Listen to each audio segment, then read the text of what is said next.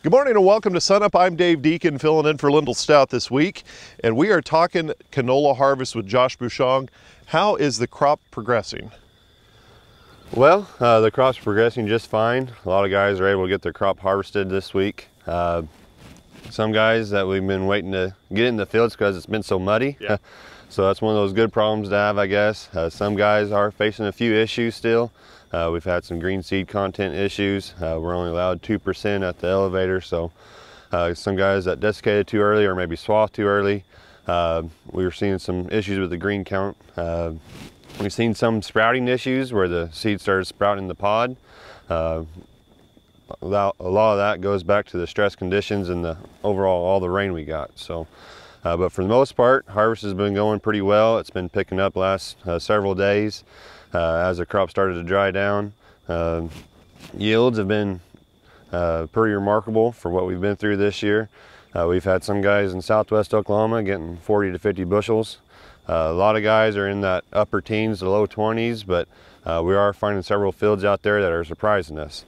Uh, some fields that we thought were maybe around that 20 bushel mark are making 40, 45 bushels. So uh, once again, the crop surprises us, um, and this year for the better, but uh, we're still getting some fields out and we still have a couple weeks left uh, to get all the crop off. Let's take a look at, or, let's take a look back at this year's crop. It, it, we, we, we didn't have the big freezes that we had in previous years, but there were still were a couple of issues that came up.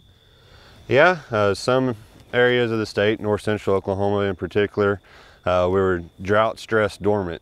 Uh, so we didn't break dormancy till uh, fairly late. So some of those some of these crops didn't start flowering till real late.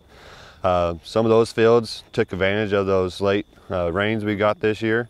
Like you said, we didn't really have any freezes in April, so that didn't really hinder the crop. So for the most part, we had a good pod set. We didn't skip on any pods. And for the most part, we've had good seed set. We've had fairly mild temperatures when we're setting those seeds and good moisture when we're filling those seeds. So we have pretty good seed size this year and all that kind of contributes to the yields we're seeing. What were the planted acres like in the, this, this crop?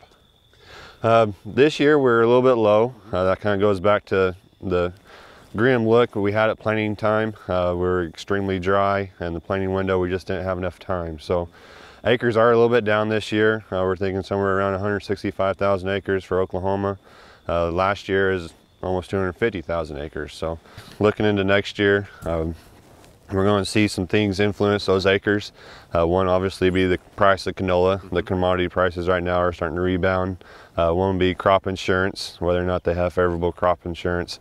And two, planting conditions. Like I said, this past year, that was our biggest hindrance on the canola acres. We were just too dry.